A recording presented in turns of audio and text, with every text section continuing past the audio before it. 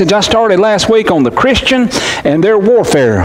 The Christian and their warfare. We're in a study on the Christian and as we began in Ephesians chapter 6 last week, verse 10 and 11, uh, God's Word challenges us to be awake, to be alert, and to be active in the battle. In verse 10, we learned about God's plan for His soldiers. God's plan is not afterthought, but it's a primary importance. He tells us, and brethren. So all the church is, to, is called to arms. Every one of us has a call to arms in this spiritual warfare. Here's God's plan be strong in the Lord and in the power of his might. And in verse 11, we learned last week, uh, Paul elaborated further on what that meant, and he gave a word about our power to stand. God gives us power to stand. And how, how do we stand? How can we uh, be uh, stand strong for Jesus? He tells us in verse 11 about our surrender for the battle. He says, Put on the whole armor of God. You and I can't be running from God and be warring for God. We got to be submitted submitted to the Lordship of Jesus Christ, you and I have to put on the armor of God. That word put on, uh, the, ar- the whole armor of God, it speaks of once for all, it speaks of permanence. That means you and I are to be dressed for battle. We're to put on the armor night and day, leave it on night and day, week after week, month after month, year after year. You and I are to be walking in, warring in the armor of God. Paul also gives the results of putting on the armor of God. We have strength, verse 11 says that, we that you may be able to stand. We have strength for the battle when we surrender to Jesus in the battle. We surrender, we, we're dressed in the armor of God. Uh, without the armor, you and I cannot stand against the enemy. We're not strong enough. We're not wise enough. We can't stand against the enemy without the armor of God. We need on the whole armor of God. Then in verse 11, Paul began to give us some insights about our enemy. He talked about the strategies of Satan. He said we, we're to stand, that we might be able to stand against the wiles of the devil. That word wiles means methods or schemes of the devil. It reminds us that Satan does not fight fair. Uh, no holds barred. Uh, he, he, does not fight fair. He's a, he's a liar. He's a schemer. He's a deceiver. He's a murderer. So Paul identified the enemy, uh, the defense of the church, and the victory for the church. We're going to see that today in this passage. Christians must be aware of our enemy and how they work, but we also must be active against the enemy by the power of God in us. So I want to challenge every believer today put on the armor of God. Believe what God says about the war, about our enemy, but also about our victory. Amen. Uh, so, are you aware this morning? Uh, uh, are you aware of the real enemy? Do you recognize? Do you even recognize that you're in a war? I pray that God would use me to help wake us up to that fact today. Are you standing for Jesus and are you dressed in the armor of God? Are you standing in the evil day? We're going to get some insights today in, about into the Christian and their warfare, our warfare. If you're a Christian today, you're in a warfare. So I'm going to ask you if you're physically able to stand with me all over the building as we honor the reading of God's holy and perfect word. Ephesians 6, verse 12 and 13. You follow along now, for this is the word of our great God. The Bible says, For we do not wrestle against flesh and blood, but against principalities, against powers, against the rulers of the darkness of this age, against spiritual hosts of wickedness in the heavenly places. Therefore, take up the whole armor of God, that you might be able to withstand in the evil day, and having done all, to stand. You may be seated. I, I just said stand, but be seated. Okay, but we're going to stand. Amen. We're going to stand for the Lord. I don't want you to have to stand through the whole sermon. Let's pray together. Father, in the name of Jesus, Lord, give us power to stand. Lord, give us perception about the battle that's around us, that's going on uh, against us and against your church and in this world, against people's lives, against neighborhoods and countries, Lord, against those in the world. Lord, I pray you'd awaken us to the battle, this spiritual warfare that we're in. And God, that we we'd be serious about our walk with Jesus, serious about this war for Jesus. And Lord, I pray you'd strengthen your church today. And God, that we would be strengthened in the Lord. And God, that we'd be used by the Lord in this battle, that we might rescue those who are perishing. Lord, that we might be used uh, by you to make uh, disciples, to pass on the faith to others as well. And God, we ask you to bless our time as we study your word together. In Jesus' name we pray. Amen. Well, notice in verse 12 and 13, if you got outline with me, you want to follow along with me. First, number one, I want you to see, or number three in your outline, notice the protection against Satan.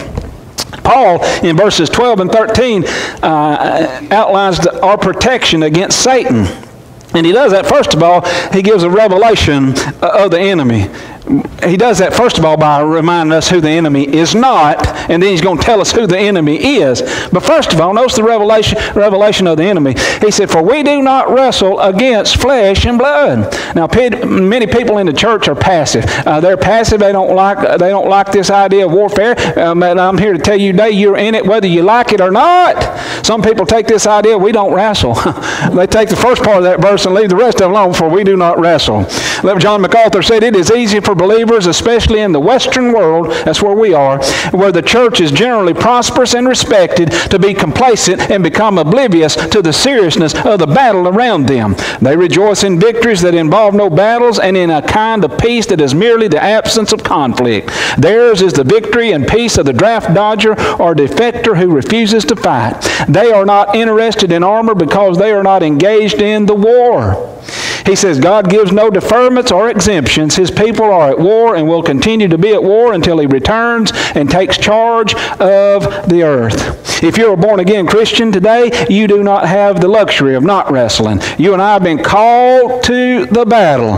The Bible tells us to put on the whole armor of God that we might be able to stand against the wiles of the devil. We're called to wage war against the enemy of our Lord and of His church and of our lives. The word wrestle, by the way, in the Greek, it, it refers to close hand-to-hand combat, warfare at close range.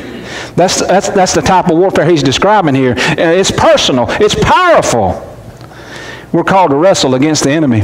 In, in the Greek wrestling games, they, they, they, became so serious that, that there was a fight. It was a fight to the death. Those who had, had, were pinned and beaten were, had their eyes gouged out, and they were put to death.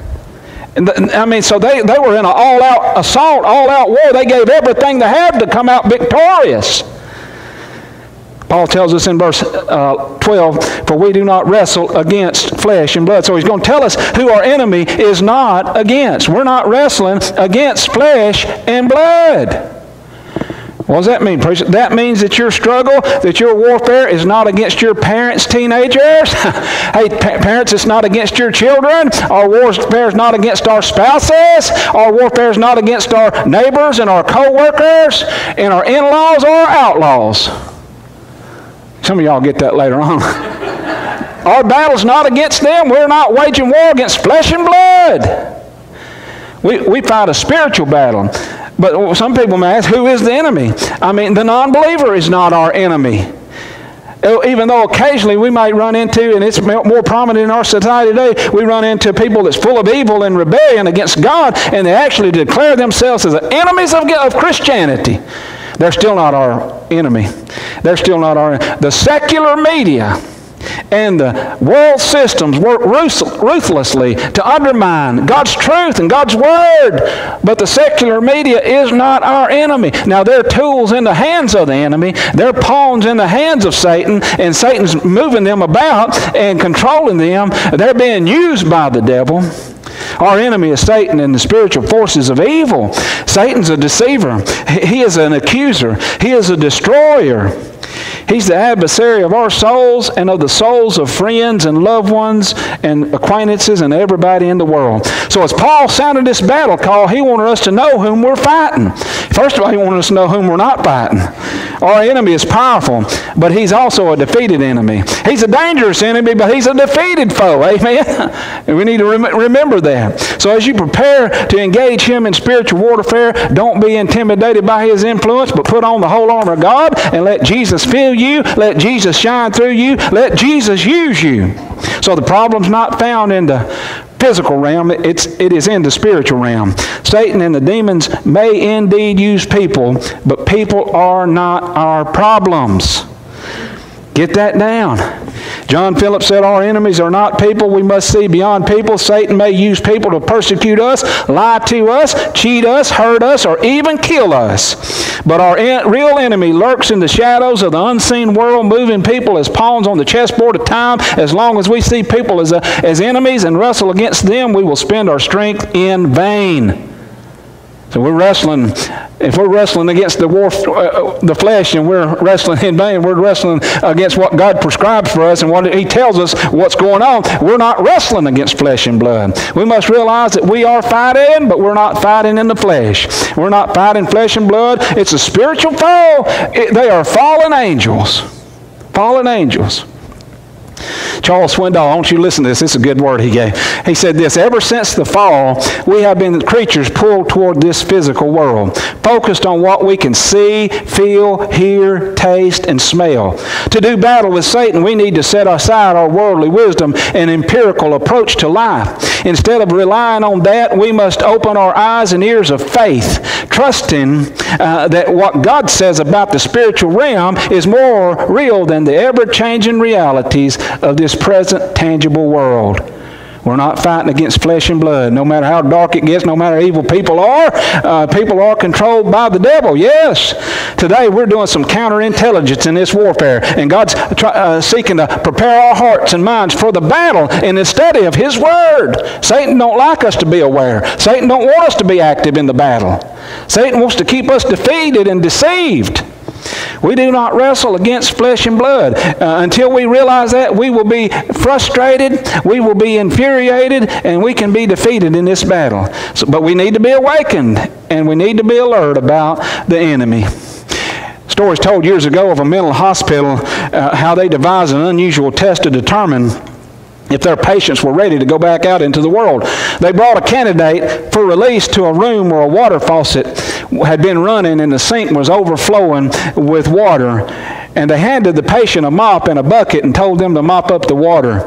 If the patient had enough sense to first go and cut off the water that was overflowing in the sink before they started mopping, that patient was ready for, to be released into the world. But if, like so many cases, those patients began to mop while the water still began to pour, they kept that patient for more treatment. Can I tell you today, God's done a work in our heart to clean out the evil in our lives. That's called conversion. We've been saved by the grace of God, and we, we are uh, filled with the Spirit of God. We got Holy Spirit living in us. He's holy, by the way, so He cleanses us from sin, and He, he does a work of grace and power in our hearts, and He, he changes our want tos. He changes our actions.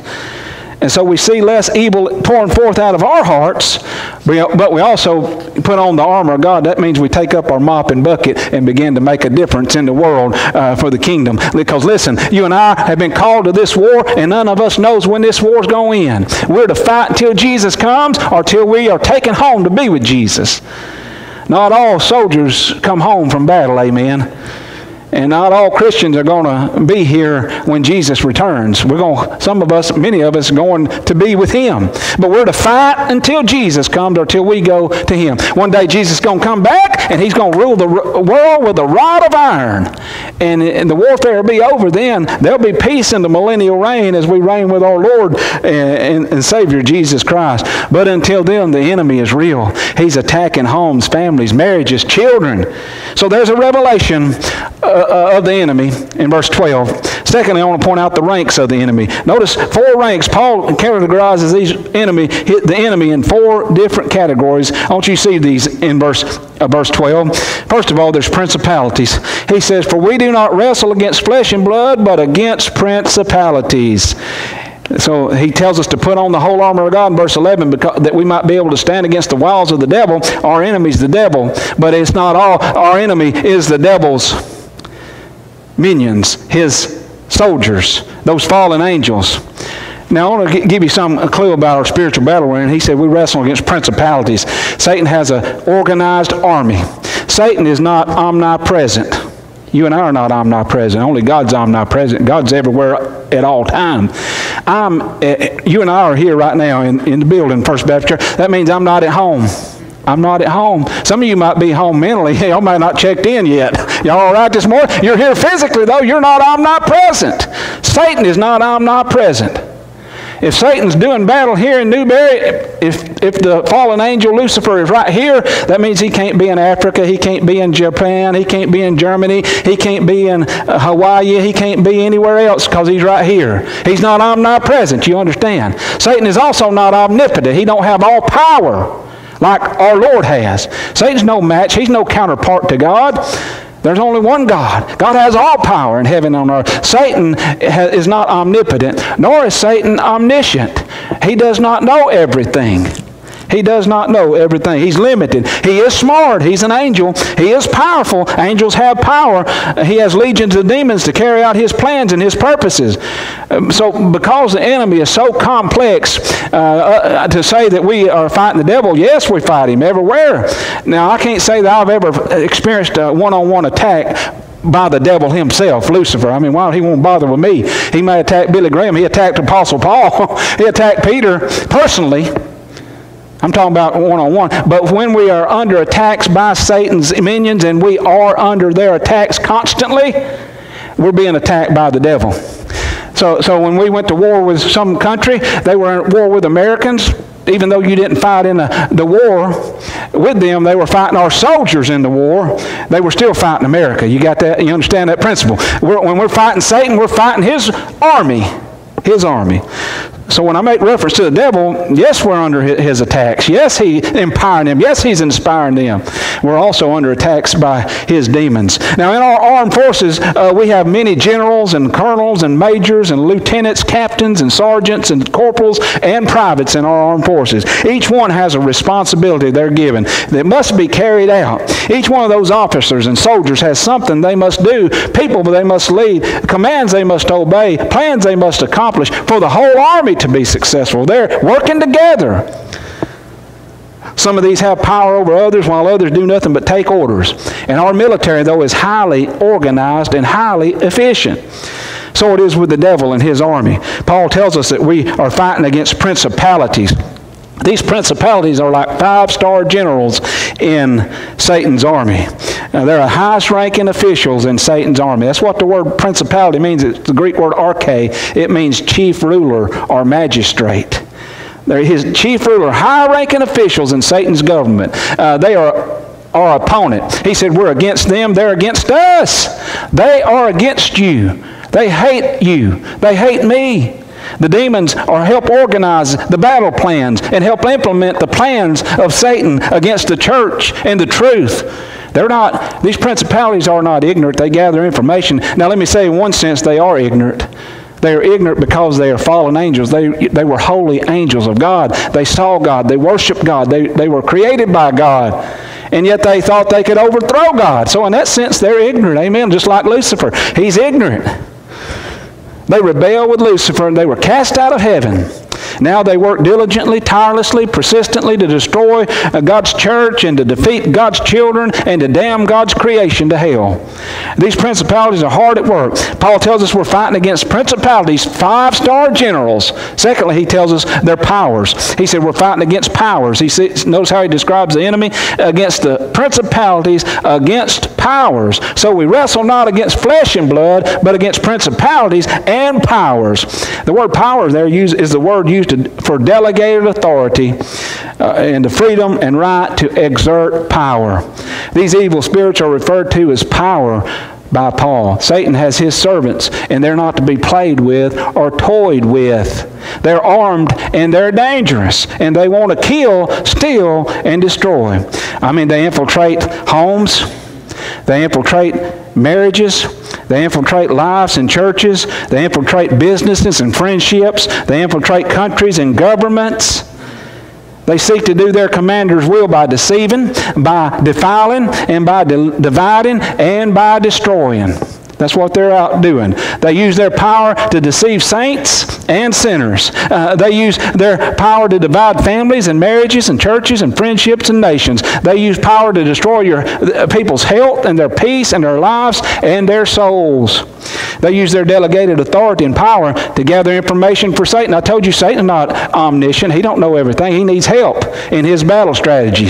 So he figured out, they, they listen, they come and they listen. Uh, they they uh, gather plans and they have uh, information about the Lord's work, and they try to influence events. They implement Satan's strategies. They inflict woe and bondage on mankind. And they rejoice at the blindness of most of humans today. They're spiritually blind. And the hardness of people's hearts not hearing the gospel and the truth of the gospel of Jesus. They're thrilled that people don't believe in their existence today. So we wrestle against these powers, these principalities. Paul also tells us we wrestle against present rulers. Look in verse 12, he calls them present rulers, against the powers, against the rulers of the darkness of this age. Of this age. Paul tells us we wrestle against the rulers of the darkness Darkness, by the way, what an emblem of Satan and his demons. Uh, it's an emblem of ignorance and misery and sin. It's a description, uh, a, no, a, no, more fitting description of those uh, demon spirits ruling over a dark world. You see, we live in a dark world that is oppressed by the devil, ruled by the devil. Much, is it, much of it is subjected to Satan. John said this in 1 John 5 19. He said, We know that we are of God, and the whole world lies under the sway of the wicked one. The whole world lies under his sway. These present rulers are, are under Satan's sway, and the world is under Satan's sway, under his influence. It's present, by the way. So 2,000 years ago when Paul wrote, the battle was real, those demons were real. Matter of fact, you read the Gospel, Jesus was casting them out. They hadn't gone anywhere. He cast them out of people. They're still at work today. They are eternal beings. They're spirits, fallen angels. They're not going to die. And they've not been cast into the bottomless pit yet. They still are roaming the earth. They rule and it's an evil day. And there are present rulers. That word rulers is the word, Greek word cosmokrator, means a world ruler. Satan uses these demons uh, known as world rulers to cause havoc in this world. There's no peace in the world because of these rulers in the world. Satan uses these world rulers to keep people in their sins, to keep them bound up and shackled up so that they can die in their sins and go to hell. That's what Satan wants out of your life for you to spend eternity in hell. John Phillips said this Satan keeps people in a state of spiritual, philosophical, religious, political, social, and personal blindness. He has invented every false religion and is behind every false philosophy and every false theory and every false ideology and every false theory. So these world rulers have implemented philosophies, ideologies in this world that have resulted in the loss of countless lives and the spread of incurable diseases and the oppression of God's church and God's truth in the world.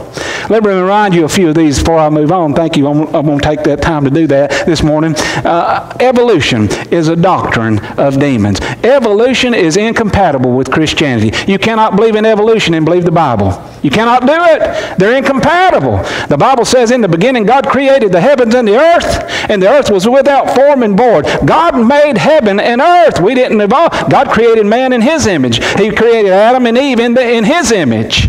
We've been created. We're not been involved. We're not evolved. So if you pay attention to that doctrine, you're listening to a doctrine of demons. Evolution is not compatible with Christianity. Secondly, here's another ideology and a philosophy that's very prominent in our, our world abortion. Abortion is murder. It's from the heart of Satan. Since 1973, America has killed 61 million babies over 61 million legalized murders with no one brought to trial, no one convicted, no one sentenced. Listen, but they have not stood before King Jesus yet. In Jeremiah 32, verse 34 and 35, the children of Israel had sold out, started worshiping pagan gods, and they began to serve false and dead gods. And the Bible tells us that they began to offer their sons and daughters into fires of Molech. They burned them alive. It was an abomination then, and it's an abomination now.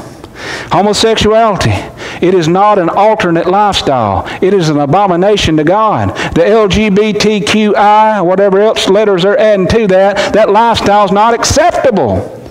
It's not popular today, but I'm here to tell you popular Christianity is unbiblical, but biblical Christianity is unpopular.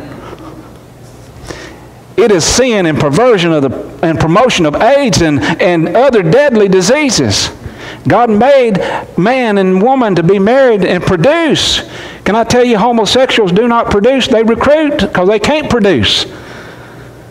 In 2015, our godless, godless, you heard me say godless, our godless Supreme Court overruled the states and legalized gay marriage in America. And in the last five years, we've seen the continued downfall and fallout from the, this godless ruling. Today we have polygamy, uh, pedophilia. They're trying to legalize pedophilia and transgenderism. I mean, people don't even know what gender they are. Let me remind you, in the beginning, God created them male and female. There's male, there's female. You're either a male or you're a female. There's none, none no other. Amen. Your children, they're trying to indoctrinate your children, tell them, confuse your children about their gender.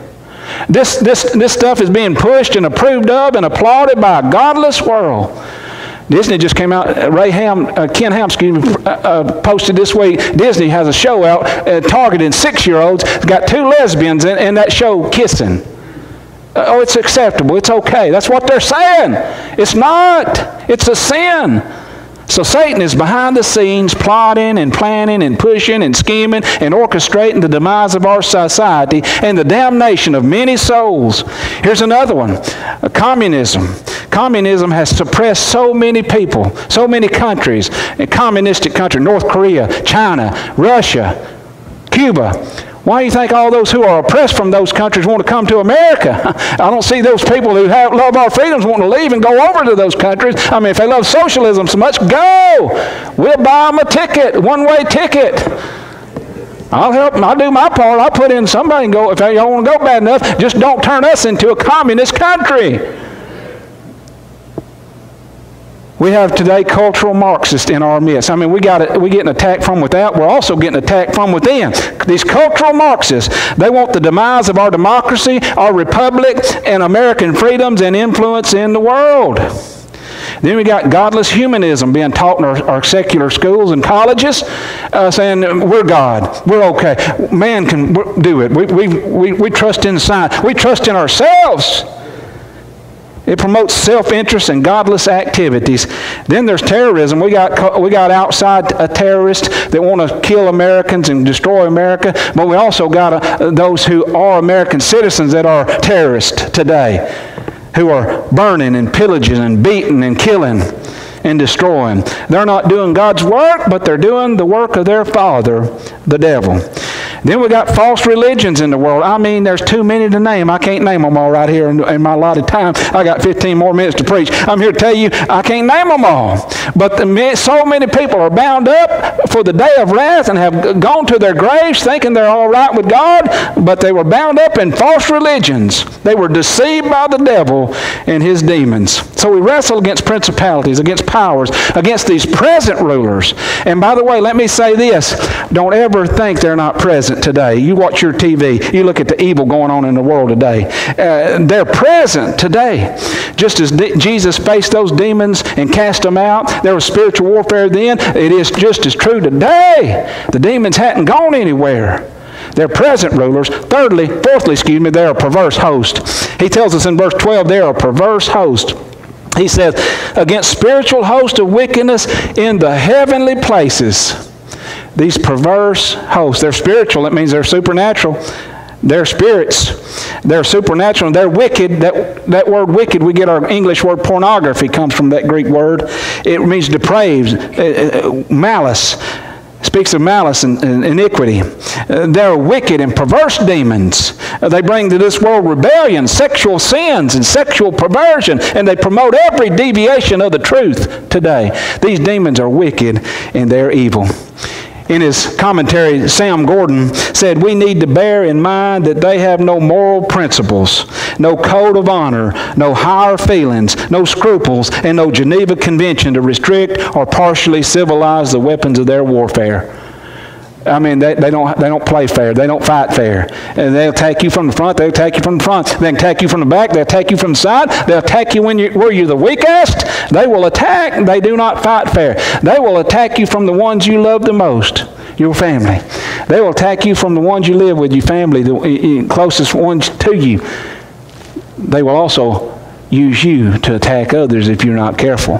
Be careful that you're not used by the devil. These, ho- these spiritual hosts of wickedness are doing battle not only on the earth, but in high places, in heavenly places.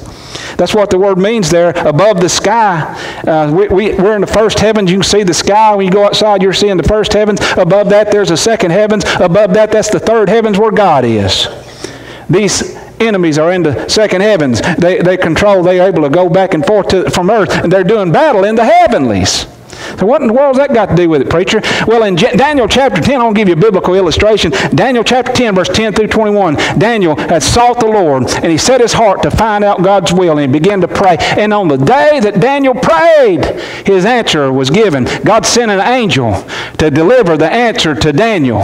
And on the way to deliver the da- answer to Daniel, that angel ran into the prince of Persia, which is a figure of, of a spiritual being, a fallen angel that resisted him. The Bible said he resisted him 21 days. 21 days, three full weeks, they were at warfare. And God sent the chief angel, Michael, to do battle with that other prince of Persia. And he released that angel, and he was able to come and bring the answer to Daniel. Daniel 10, verse 10 through 21. You can go back and read that later on. I ain't got time to read it right now. But there's spiritual warfare going on in the heavenlies. The preacher, I prayed, but I didn't get an answer. Oh, yeah, God sent the answer. There may be just some spiritual warfare. You just need to keep praying through. Don't give up. There are ranks of angels and there are ranks of demons. So we've talked about the revelation of the enemy. We do not wrestle against flesh and blood. We've talked about the ranks of the enemy. Those four ranks, you see them there. Then thirdly, I got some good news. Number C in your outline, the resisting. The resisting of the enemy. We move now to our victory, the resistance. How can we have victory, preacher? Well, Paul's going to tell us in verse 13. It requires, number one, it requires being properly dressed. He's already mentioned this in verse 11. It's so important, he's going to mention it again in verse 13. He says, Therefore, take up the whole armor of God. It requires for us being armed and active in the battle is to be dressed for battle. Resisting the enemy requires being properly dressed. Are you dressed today? I'm thankful that y'all are dressed today physically, but that's not what I'm preaching about this morning. Now, if y'all come in here half dressed, I'll have to preach about dressing right. Amen. I don't have to do that. But I am talking about being dressed spiritually. I'm talking about having on the whole armor of God. Listen to these two verses. These are great verses if you're taking notes with me. In James 4, verse 7, the Bible says, Therefore submit to God, resist the devil, and he will flee from you. 1 Peter 5, verse 8 and 9, Peter said, Be sober, be vigilant, because your adversary, the devil, walks about like a roaring lion, seeking whom he may devour. Resist him, steadfast in the faith, knowing that the same sufferings are experienced by your brotherhood in the world that reminds us we're in a personal battle, spiritual battle, and, and, you and I are not the only ones in it. So don't, don't get the Elijah syndrome, amen. Oh, Lord, it's just me alone. No, it ain't. You got brothers and sisters that are going through this same attack, and we're to stand for them, stand with them, and pray for them, and walk by faith with them. We're to war with them, not war against them. They're not our enemies, they're our brotherhood. He said, Take up the whole armor of God. That's an active word, by the way. It stresses. Uh, something on our part we do. Uh, the word means to take up in order, to use. We're to take up the armor to use it, to make something your own. So, the second time here in three verses, Paul tells us to take up the whole armor of God, put on the whole armor of God. When the soldiers go into physical, when our, our soldiers go into battle, they make sure they're dressed. They've got on their helmet, their, their, uh, their breastplates, their shield, so to speak. They got their guns, they got their ammo with them, they got their camo, they got their boots on, they're ready to go. No army would send their soldiers into harm's way un, unprotected and unready for, not ready for battle. Just like a football team. Um, they do not send their players, uh, they don't dress in ballerina, ballerina dresses to go play football. And number one, they wouldn't be allowed to play. And number two, they'd be laughed off the field. And if they did play, they'd get hurt. Amen. You see where I'm going with that? A fireman doesn't wear a t-shirt and blue jeans into a raging fire. They'll get burned up. They got to put on their gear to go and fight the fire. Amen, Brother Carl? Amen. And for the child of God, God's provided us the armor that we need from head to toe. And you, are, you and I are to put on the whole armor of God. He said, therefore, see that in verse 12? Excuse me, verse 13. Therefore, or the King James uses the word wherefore, means on account of or because of, because we're facing those, those principalities and powers, and because we're facing those uh, present rulers, because we're facing those perverse hosts, we're to take up the whole armor of God. See, our enemy wants to divide and conquer. He wants to destroy and curse God's people. And you and I cannot be passive. We must be active in, our, in this battle. We're to be properly dressed and thoroughly dressed. We're not to leave off one piece of God's supply for us. And if we're not dressed, we're going to give Satan an avenue to get in and to hurt us and to bring us down. You ever heard that old saying, if you give the devil an inch, he'll take a mile? That's true, he will. Sam Cathey said it well. He said, We have a responsibility to surrender to the Lordship of Jesus Christ and to take a bold stand against Satan and demons. Whatever part of your life Jesus is not Lord of, demons are going to get it. They're going to get it. The war's real, the demons are real. We must be properly dressed to resist them. Tony Evans gave, gave a good illustration in his commentary. Listen to this. He said, Stay in the area where victory has been achieved under the cover of God's armor. He said, When you stand under an umbrella, it doesn't stop the rain, but it does stop you from getting wet. Amen. We may not change all the evil. Man, I wish we could. We can stop all the rioting. I wish people love one another. I wish they'd come to Jesus and be saved. I wish we had a whole world that was at peace. But that's not going to happen right now. It's not going to happen until Jesus returns and takes over. I'm here to tell you, we, we got to stand with our armor on, under the umbrella. We don't just stand in the driving rain, though. I've never seen somebody just stand out in the rain. They use an umbrella to keep them from getting wet, and they walk. They're going somewhere. Amen. So you and I, we got on the armor of God, we don't just stand our ground, but we're to be going somewhere. We're to be fighting the good fight of faith. We're to be taking ground for the kingdom of God. We're to be seeking to rescue those who are bound up in their sin, heading for hell. Verse 13, listen to it. We learn that resisting requires us being properly dressed. Then, lastly, it results in us being, being provided deliverance. It results in being provided deliverance. Paul says, lastly, he said, Therefore, take up the whole armor of God that you may be able to withstand in the evil day and having done all to stand. So when we have on the armor of God, we have power to withstand and power to stand. Why? Let me ask you a few questions this morning. You can answer them, answer them in your own heart. Why is it that so many Christians are falling away from the church, falling into sin, falling out of fellowship, and falling into the clutches of Satan? Why is that? Are they properly dressed? Have they put on the whole armor of God? Are they even aware that there's a spiritual warfare going on? I love what Stephen Travis said in his commentary. I put this on the screen. He said, In the New Testament, it is not believers who tremble at the power of Satan, but demons who tremble at the power of God. You and I are not to walk around in fear uh, of, of the enemy. Yes, we, we, we, take, we, we, we take it serious. Yes, we are conscious of them. Yes, they can do damage. But we're to put on the armor of God, and greater is He that's in us than He that's in the world. That's what the Bible teaches. But when we're not properly dressed, we give the enemy opportunities to bring us down and defeat us. The Lord Jesus has all power uh, in heaven and on earth. He's already defeated and the, the enemy uh, at, at, the cross, at the empty tomb, at the grave where he conquered the grave. And he has sent down his Holy Spirit to guide us and protect us and empower us in this battle. Not me, the dark foe fears it all, but hid in thee I take the field.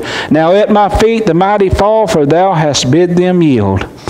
Reformer Martin Luther in his hymn Uh, wrote this The Prince of Darkness grim, we tremble not for him. His rage we can endure, for lo, his doom is sure. One little word shall fail him. God can just speak a word when you pray. In and through and by Jesus, do the people of God have the power to be victorious in this battle that we're in.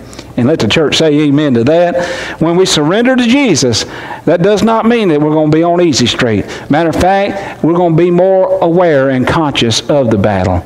We're going to be a, a conscious who is not our enemies. Amen. Don't be lashing out against those in the flesh who are led by the devil. Pray for them. Pray for your enemies. What, what should we pray? That God would deliver them, that God would save them that God would deliver their souls from hell. They're under the oppression and deception of the devil. Pray for your enemies.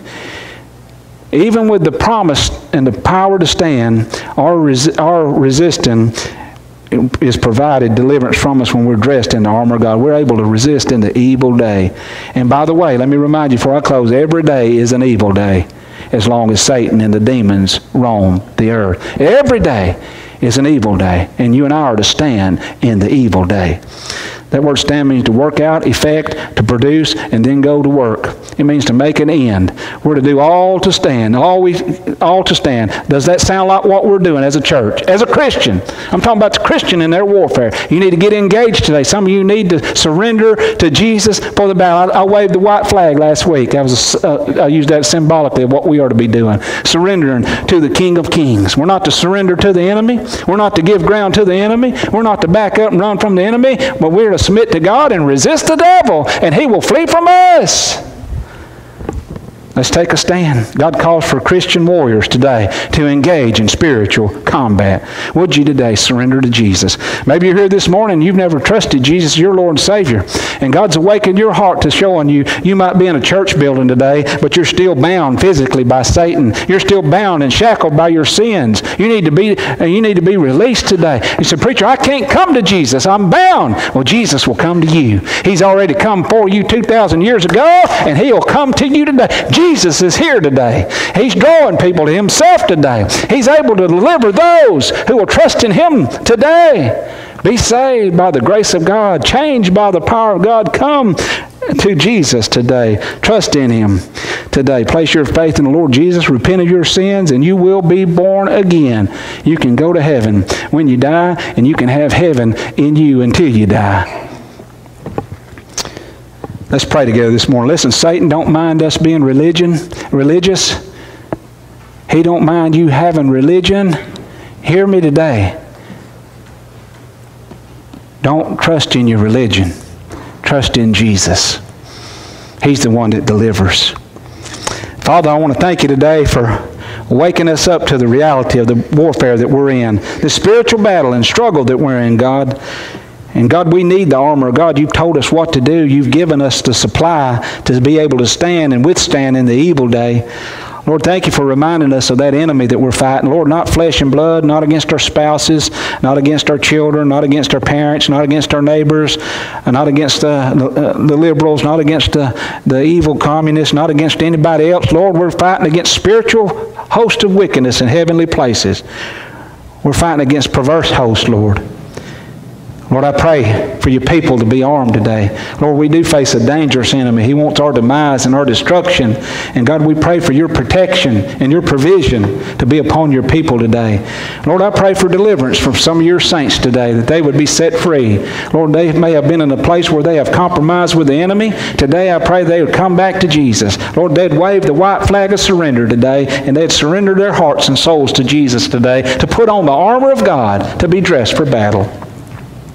Then, Lord, I pray for those who are bound up by Satan, who have never been set free, never been unshackled, never been forgiven of their sins. Today, Lord, break through, break those chains of sin. Lord, destroy the works of Satan in their life. Demolish the works of Satan, Lord, and do a work of power in this place and in people today. And draw people to yourself. In Jesus' name we pray. Amen. Would you stand with me all over the building?